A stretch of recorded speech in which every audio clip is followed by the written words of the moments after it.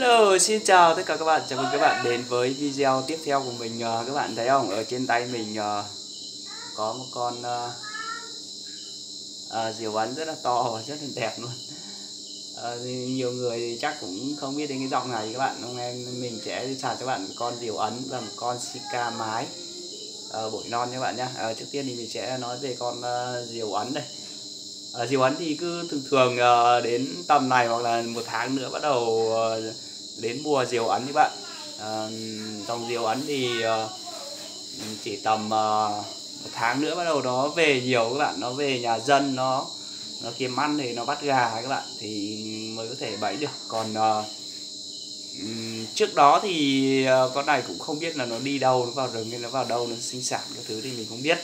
Và cứ tầm uh, tháng 10 âm bắt đầu nó về nhiều các bạn nó về nó kiếm ăn nhiều sau đó là đến gần tết bắt đầu nó lại uh, đi đâu đấy có thể nó vào rừng nó sinh sản.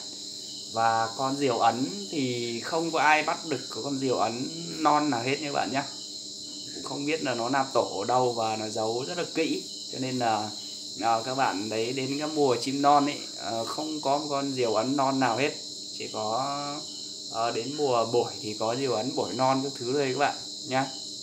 Còn à, mùa chim non thì thì không có diều ấn non đối với con diều ấn thì nó cái phóc người của nó khá là to mặc dù cái cân nặng của nó thì ờ, đối với con mái thì khoảng tầm 450g đến 500g 400g đến 500g các bạn. Còn con trống thì khoảng tầm 320g cho đến ờ, uh, 400g gì đấy.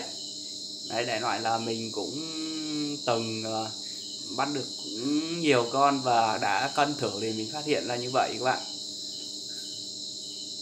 Uh, dòng diều ấn là cái dòng để nuôi cảnh và tập ờ, uh, thành uh, ờ, qua tay uh, các thứ các bạn. Cho nên là giá của nó cũng uh, rất là rẻ rất là uh, dễ để có thể mua được. Bởi vì uh, cái dòng này thì nó to nó đẹp để chơi cảnh. Đấy tập vớ vẩn uh, qua tay các thứ chơi vậy thôi. Và đặc biệt là con diều ấn này nó ăn rất là tạt luôn các bạn nhá. Thức ăn của nó rất là tạt. Mình uh, à, mình thấy nó như thế các bạn rắn rết rồi các thứ nó ăn hết. Nó không nhiều các cái dòng bét các thứ thì bét thì nó ăn rất là sạch. Nó ăn uh, các cái dòng chim nhỏ. Đấy đối với dòng diều này có thể nó ăn cả các loại côn trùng nhỏ các bạn. Ừ, những cái động vật có máu và các loại côn trùng nhỏ thì mình thấy nó cũng có ăn đấy. Thì ờ, cái phân của nó ỉa đôi khi mình cảm thấy có cả đất các thứ đấy các bạn. Đấy, cái dòng này thì mình thấy nó ăn khá là tạp còn đối với cái dòng diều ấn thì mình thấy nuôi thuần nó cũng dễ thôi các bạn. Nó cũng dễ nuôi hơn là các cái dòng ưng.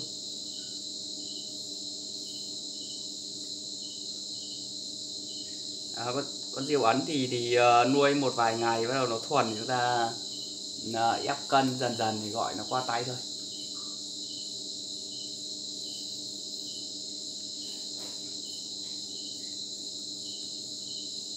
Thấy chưa, bạn thấy không? mà ăn có vẻ cũng ờ, rất là đơn giản thôi.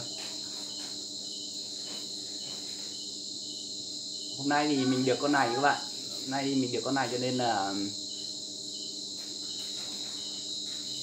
Thường thường người ta sẽ ờ,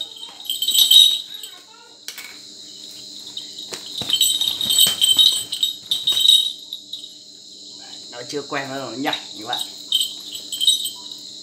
thường người ta sẽ phải uh, cầm chân cái thứ còn nó bắt đầu đút cho nó ăn. Nhưng thực ra thì, thì những con diều ấn này thì nó dễ các bạn. Cái cái cái đứng găng cái thứ của nó rất là dễ. Các cái dòng lớn để tập đứng găng thì là dễ. Nó không như các cái dòng nhỏ các bạn các cái dòng giỏi như kiểu Sky, Bet hay Spa các thứ thì uh, chúng ta phải mất một vài ngày để tập đứng găng. Nhưng các cái dòng lớn uh, từ diều ấn đến ứng ấn cái thứ trở đi thì khi nào chúng ta bắt anh răng nó tự đứng rồi chứ nó không không cần phải tập kiểu là các cái dòng nhỏ. Các dòng nhỏ đôi khi chúng ta phải tập còn chán, mới chịu đứng răng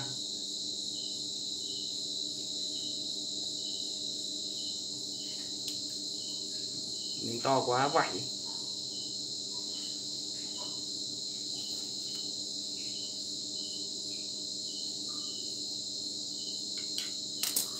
mình hay dùng tay cho nên cho kéo và nó cứ ngượng ngượng như các bạn.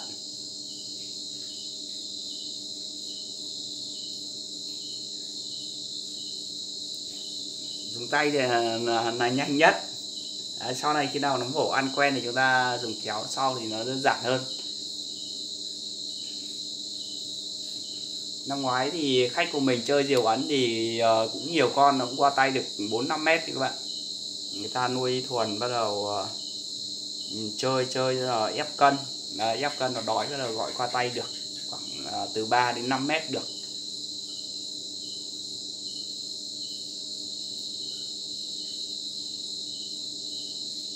Uh, cái phóc người của con diều ấn này nó to hơn con ưng ấn rất là nhiều luôn các bạn. Mặc dù cân nặng của nó uh, không bằng con diều ấn uh, bằng con ưng ấn nhưng mà cái bóng người của nó sẽ to hơn đấy một con uh, diều ấn này nhìn cái khung xương và cái bóng của nó to hơn uh, con con diều ấn uh, con ưng ấn rất là nhiều luôn. Ví dụ con ưng ấn mà bằng này trọng lượng thì nó sẽ rất là nhỏ.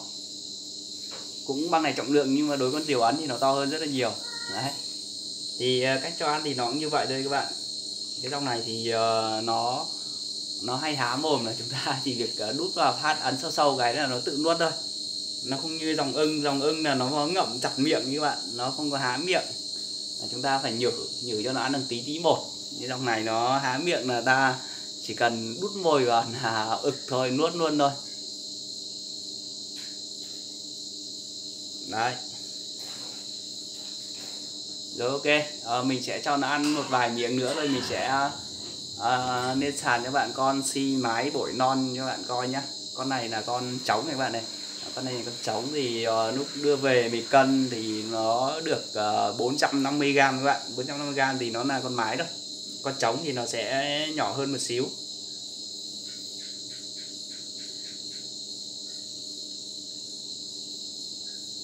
Đấy, cái dòng diều ấn thì chơi cạnh với nha các bạn nha. Nhiều bạn khi không biết thì cứ hỏi uh, diều ấn săn được hay không. Đấy, gọi là dòng diều thì uh, ít con nào săn lắm các bạn à, chỉ có cái dòng ờ, cắt lớn cắt lớn thì nó cũng thuộc về họ nhà diều. Nhưng mà con cắt lớn thì cái khả năng đi săn của nó cũng khá là tốt. Vậy con cắt lớn nó mới có giá tầm ba bốn triệu 5 triệu các bạn. Con nào mà săn tốt thì nó cả chục triệu mà. Đấy chứ còn ờ, mấy cái dòng này thì dòng để nuôi kiểng nuôi cảnh thôi các bạn nhé.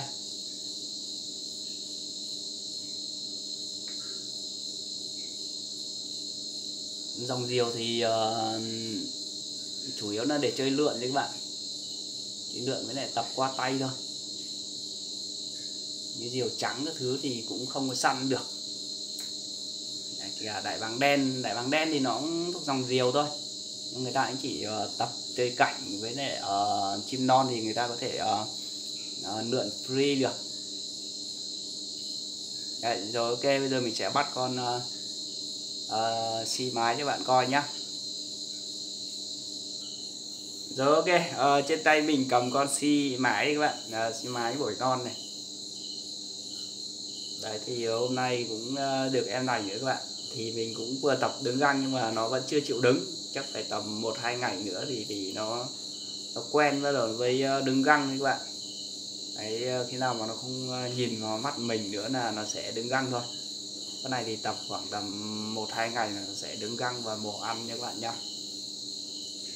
À, vừa nãy mình cân thử thì con này nó 220 g các bạn. Đấy, một con si uh, mà mùa thứ nhất mà 220 g cũng là thuộc dạng khủng đấy các bạn. Đấy, sang mùa thứ hai trở đi thì nó sẽ uh, to hơn nó sẽ nặng ký hơn. Nồng na khá là ok các bạn đấy, thì những con bổi mới về thì uh, những ngày đầu chúng ta sẽ đút. Đấy. Nhiều con nó sẽ uh, mổ bằng bạc thì chúng ta vẫn phải cẩn thận. Thì mình uh, chim nó mổ quen đấy các bạn. Chim nó mổ quen này cho nên là mình thấy nó cũng quen. Chảy máu suốt thì nó cũng quen.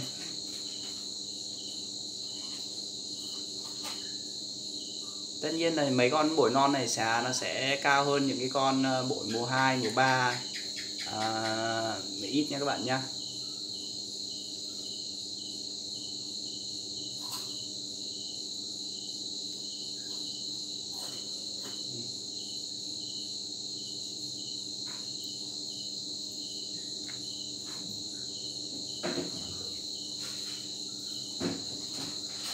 thì uh, những cái con bổi non uh, bổi mới về thì lúc nào mình phải cho nó ăn cái phần ngon các bạn những con mà nó đã thuần rồi thì uh, mình có thể mình cho nó ăn xương thoải mái.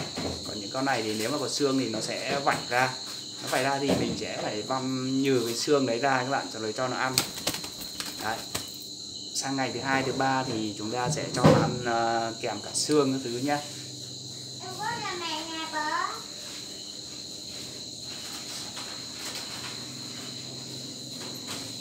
như cái phần này là phần uh, xương này các bạn.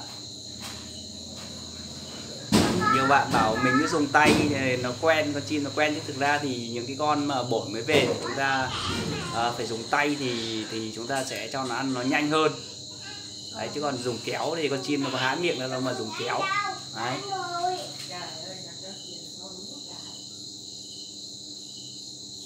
Ngoài ra thì mình còn à, một con si uh, mùa thứ hai các bạn si trống mùa thứ hai thì mình bán rồi. Con ấy thì khá là thuần các bạn.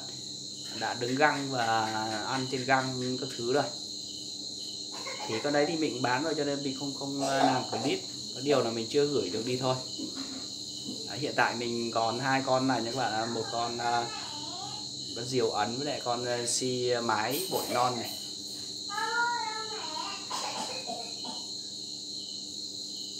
Này thịt nó bị đến dưới lưỡi của nó nó không nuốt được. Đấy mình sẽ phải cho nó một ít nước.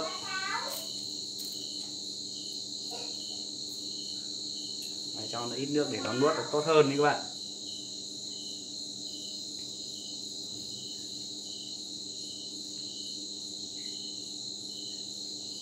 Mình thấy con này tính của nó khá là dễ tính này. À, mấy con trước của mình uh, nó ăn thịt không cơ? Thì cả xương mình vong như nhừ ra là nó cũng vảy ra. Đấy con này thì sơi tất.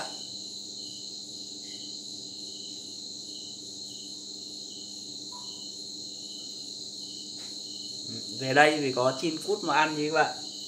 Ở kia thì làm gì ngoài tự nhiên là chỉ có chim cút mà ăn. Được ăn rong ăn rải. Thì khoảng nào bắt được con gà con thì thì sơi thôi chứ còn về với chúng ta là được ăn uh, sung mặc sướng không phải đi kiếm ăn, nhàn. Úi trời. Ừ. mình cho nó thêm cái mề nữa các bạn, cho là cái mề cho nó ăn. Đây rồi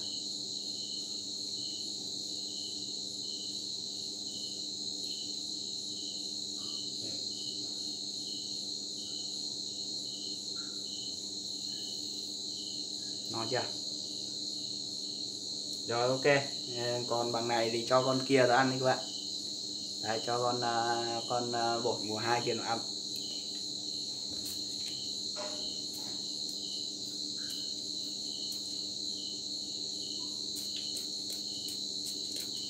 À, khi nó ăn xong thì chúng ta sẽ xịt nước để cho nó sạch sẽ cái chỗ phần uh, mồm với để phần uh, chỗ ngực của nó các bạn. Khi mình cho ăn nó sẽ dính máu ở đấy mình phải xịt cho máu nó chảy đi để con chim nó không có bị uh, xấu.